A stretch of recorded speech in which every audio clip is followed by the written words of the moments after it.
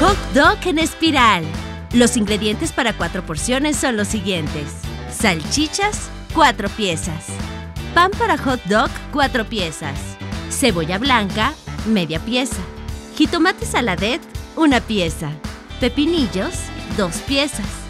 Aceite vegetal, una cucharada. Salsa katsup, cuatro cucharadas. Mayonesa, cuatro cucharadas. Mostaza, 4 cucharadas. Chiles jalapeños en escabeche, 2 piezas.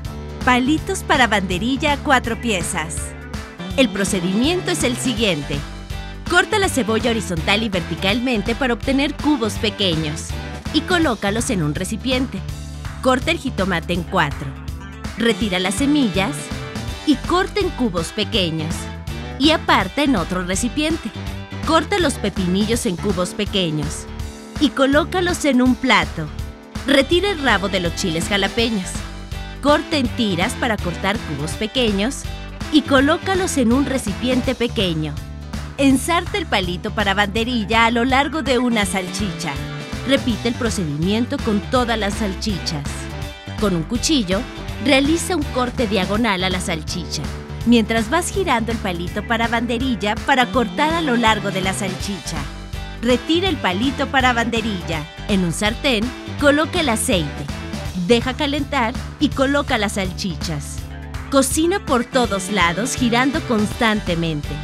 Retira y coloca sobre papel absorbente. En un sartén, dora el pan para hot dogs por ambos lados y retira. Coloca la mayonesa en el pan, una salchicha, la cebolla, el jitomate, los pepinillos, la salsa katsup, la mostaza y chiles jalapeños.